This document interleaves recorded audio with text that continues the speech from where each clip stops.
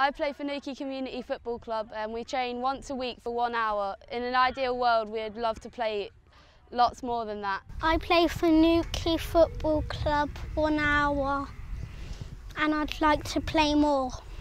I play for Newquay Football Club and I love it lots.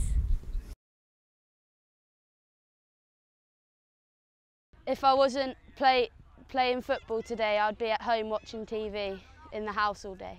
I'm watching TV. I want to play X football more than Xbox.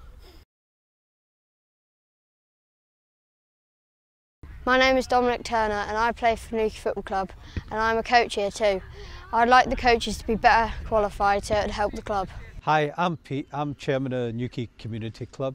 We're the biggest community club in the southwest with over 32 teams. We've got over 400 kids at the club.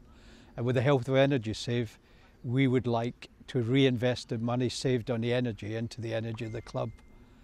At Newquay Community Club, we don't judge the excellence that the kids achieve, but we do measure the journey that they've taken to get there. So with the help of Energy Save, we hope to reinvest in the infrastructure of the club reinvest in the quality of the coaching, and most important, to help have the kids more time on the pitch. Some of the kids here, the only exercise they get is when they come to us. So we feel it's so important for the kids to have more exercise and with the help of Energy Save, increase their energy levels. I'm a parent of a three-year-old who plays at Newquay Minis. He absolutely loves it and adores the coaches and all that they do. We really appreciate the club. We'd love an energy fund to help with our energy costs.